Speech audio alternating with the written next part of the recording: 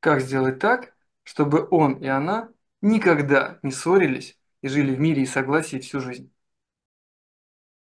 Все, что мы получаем в этой жизни, это следствие того, насколько качественно мы с кем-то повзаимодействовали. То есть создали мы с кем-то договоренность или нет? По сути, все, что мы имеем, это следствие либо умения создавать договоренности, и тогда у нас много денег, любви, счастья, там, ну, в общем, гармоничная, полноценная жизнь. Либо мы не умеем создавать договоренности, и тогда у нас несчастье, разрушенные отношения, несчастные люди, обиды, претензии, страхи, сомнения, потеря денег, потеря здоровья и сокращение жизни. И вот ключевой вопрос. Как ты думаешь, почему на этой планете люди, например, мужчины и женщины, ссорятся? В чем одна главная причина? Она всего лишь одна. Потому что, чтобы решить эту проблему, чтобы никогда не ссориться с кем-либо, для этого нужно знать причину, почему люди ссорятся. Так почему люди ссорятся? Давай, как ты думаешь? У них разные мнения на одно и то же. Ну, на что-то одно. Правильно. У них разное мнение на какой-то один объект. Понимаешь? Или событие. То есть есть некий какой-то факт, ну, допустим, мы видим его зеленым с тобой, а она видит его красным, он видит его синим. Но это еще не является причиной. Это следствие. Смотри, есть некий факт, который мужчина и женщина, допустим, видят по-разному. А в чем причина того, что они видят этот факт по-разному? Идем глубже. Ну, ну, прошлый опыт. Правильно. Потому что у них разный прошлый опыт, разные родители, разное воспитание, возможно, разные предыдущие жизни, реинкарнации там, и так далее, родовые программы. Ну, прошлый опыт невозможно изменить, ты же понимаешь. И поэтому они продолжат конфликтовать из-за разных ситуаций жизненных. Повторяю вопрос. В чем причина, почему у них разное мнение относительно какого-то факта? Правильно, прошлый опыт, который превратился во что? Давай вот прямо тебя подвожу к Ну, ну, превратились к знанию по данному какому-то факту. Прошлый опыт превратился в мировоззрение. Мировоззрение. Ну, в мировоззрение, знание. Получается, у этого человека, допустим, у нее красная картина мира, там она может быть маленькая, большая, у него синяя картина мира. И поэтому из-за разного мировоззрения они смотрят на этот мир и на факты, и на события в этом мире по-разному. А теперь ключевой вопрос.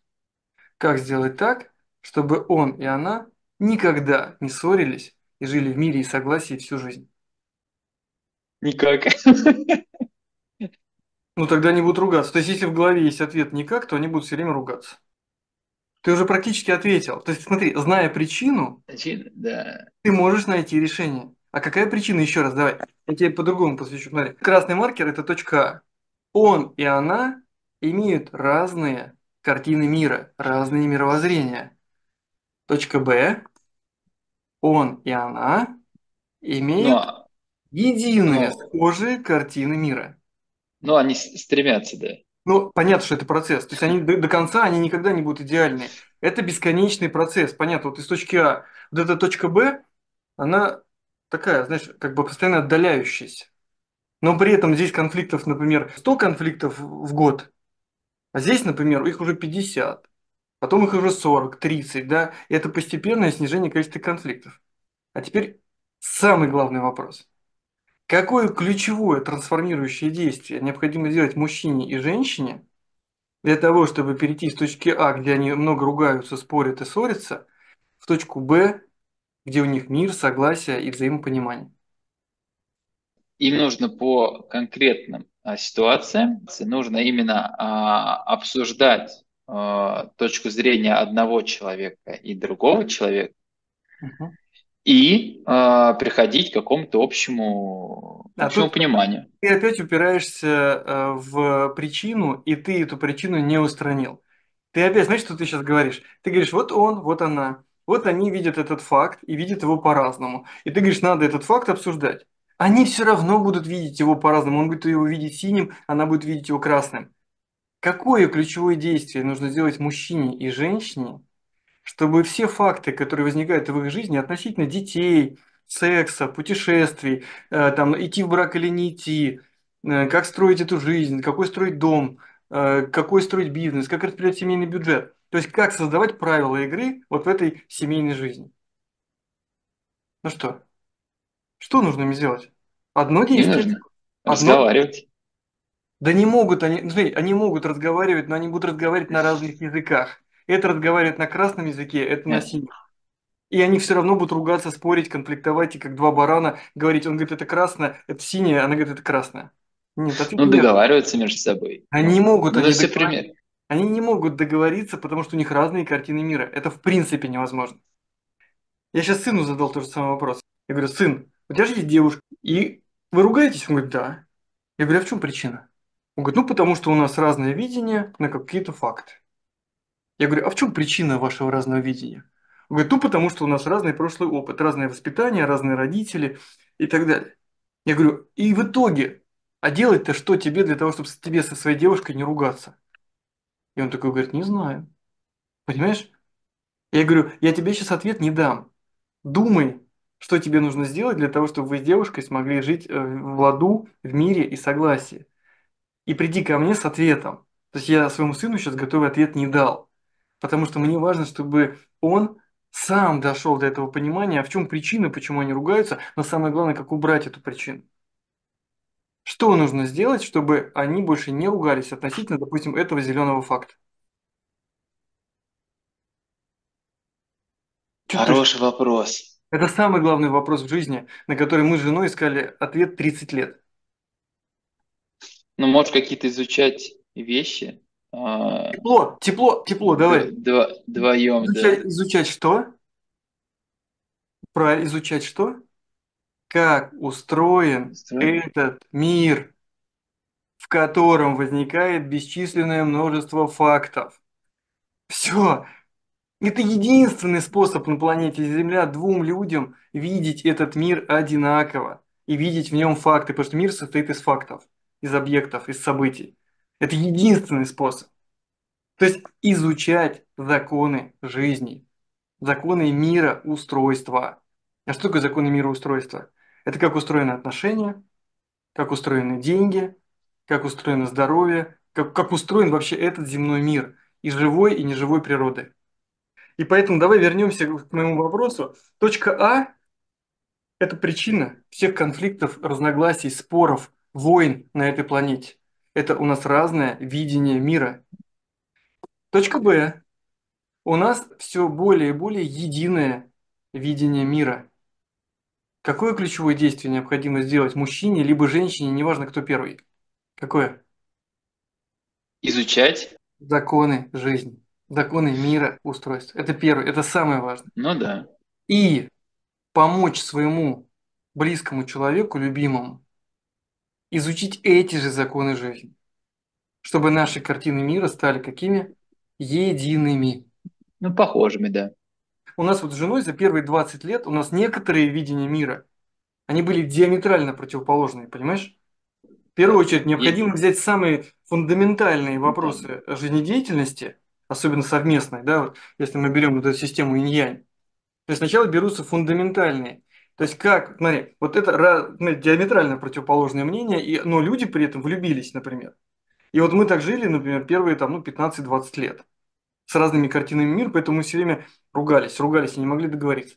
Но в итоге, изучая законы жизни, единые для нас, то есть, например, как правильно, например, э, коммуницировать, сблизились, сколько будем рожать детей, где мы будем жить, как мы будем зарабатывать, как мы будем тратить деньги. Ну, короче, это множество, множество вот этих знаний. И вообще не важно, кто Мгм. первым идет навстречу. То есть, например, женщина изучает эти законы жизни или мужчина. Важно, чтобы в итоге они оба освоили правила игры на планете Земля.